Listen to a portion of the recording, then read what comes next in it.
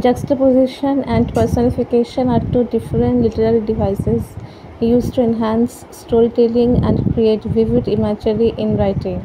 Juxtaposition is the placement of two or more ideas, characters, actions, or settings side by side to highlight their differences or similarities.